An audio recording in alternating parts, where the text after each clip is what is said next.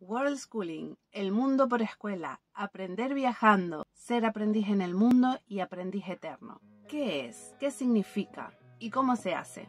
Hoy os cuento un poco sobre todo esto y cómo puedes adoptarlo a tu filosofía de vida, sea la que sea.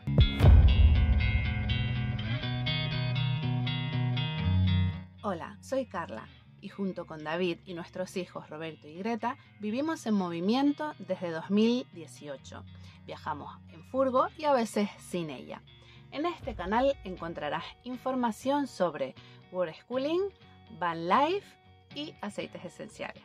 Llevo hablando en redes sobre World Schooling 5 años y todavía es un concepto que cuesta un poco a la sociedad hispana y a la sociedad hispanohablante en general. La mayoría de la gente lo traduce literal, World Schooling, mundo y colegio. Nos suena algo y creemos saber qué es, pero pocas personas captan realmente todo lo que encierra. World Schooling es algo tan grande que tengo un taller para contarlo. ¿Qué es el World Schooling? World Schooling es el acto intencional de ver el mundo como tu escuela. Combina todas las edades y mezcla aprendizaje experimental con el descubrimiento y el aprendizaje a través del viaje y las interacciones culturales, porque es a través de la exposición a otras culturas, diferentes perspectivas, cosmovisiones y experiencias que podemos entender mejor el mundo y por extensión a nosotros mismos. Para los World Schoolers, viajar es el currículum y las experiencias de la vida real son los cursos. ¿De dónde viene la palabra World Schooling? ¿Quién la inventó? Eli Gerson fue la persona que acuñó el término World Schooling hace más de 15 años. Este chico nació y creció en Boston y fue a la escuela hasta la edad de 15 años, a partir de la cual se desescolarizó a sí mismo y se hizo homeschooler, muy influenciado por la filosofía Anne. Si no estás familiarizado con estos términos y te gustaría que hiciera un vídeo al respecto, déjamelo en comentarios. Eli Gerson comenzó a viajar a los 18 años, aventurándose fuera del camino turístico para experimentar las culturas desde dentro. La belleza que descubrió y la cantidad de retos a los que se enfrentó a través de su camino inspiró el término World Schooling, que significa simplemente el mundo entero es nuestra escuela. La escuela no es todo nuestro mundo. Esta frase parece muy simple, pero es muy muy potente y es uno de los grandes andamios en nuestras cabezas. El World Schooling se ha transformado en una filosofía educativa que funciona para cada familia según su modelo de educación. No hay una única manera de hacer World Schooling pero lo que todos los World Schoolers tienen en común es el deseo de adoptar las experiencias del mundo real como inspiración para aprender, para profundizar, para ir más allá. ¿Se puede hacer World Schooling desde casa, sin viajar? Sí, hacer World Schooling no requiere necesariamente viajar.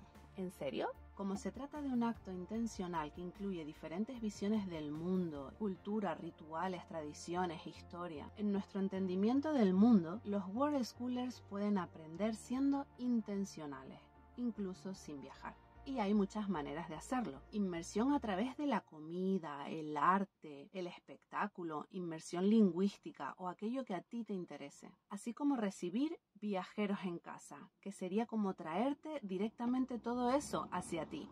Porque las personas son las portadoras más valiosas de historias y costumbres. Esto es solo a nivel introducción. Si quieres que te explique cómo hacer World Schooling desde casa, déjamelo en comentarios. Cualquiera que sea la elección educativa de tu familia, el acto intencional de incluir una visión global del mundo y sus diferencias en el aprendizaje de la familia te convierte en World Schooler. ¿Para quién es el World Schooling?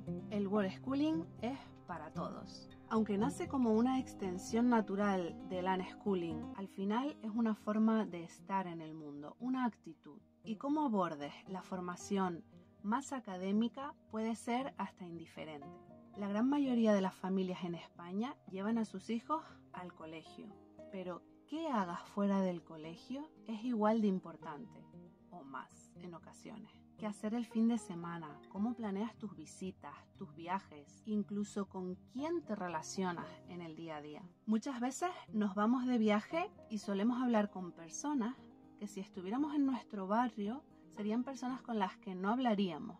A veces ni siquiera conocemos a nuestros vecinos. Eso puedes cambiarlo ya. Hay gente que se va al otro lado del mundo para hacer un voluntariado, por ejemplo en un refugio de animales. Eso también puedes hacerlo donde estás. Y ojo, que no te digo que no vayas y hagas ese viaje y hagas un voluntariado en un refugio de animales. Solo digo que es una actitud de quién eres y lo que haces en tu vida y que normalmente te abre puertas a otras circunstancias, a otras personas y nuevos aprendizajes.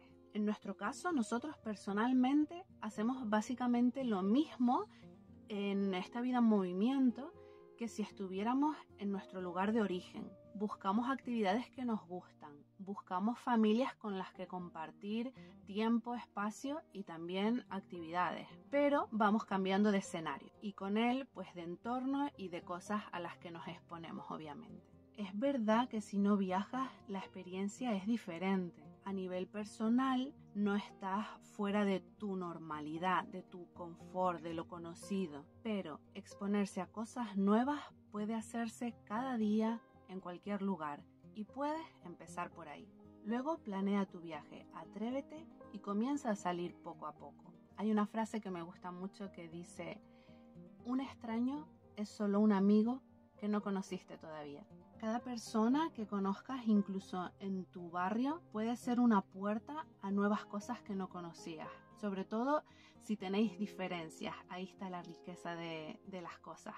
Ah, y otra cosa, aprendices eternos. Todos somos World Schoolers. No solo los niños. Lo asociamos siempre a modelos educativos y entonces pensamos en los niños. Es como que a nosotros ya, ya no nos toca, ya pasó.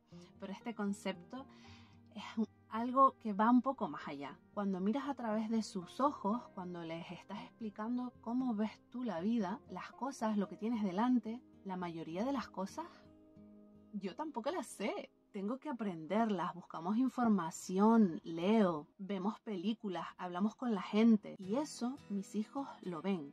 Y poco a poco son ellos quien lo hacen también. Todos aprendemos y ellos aprenden a aprender, a buscar información de aquello que les interesa. Y lo más importante, nosotros somos aprendices eternos. Es inevitable, la vida tiene experiencias infinitas por realizar y el aprendizaje podría ser eterno. El único problema es que nosotros no lo somos.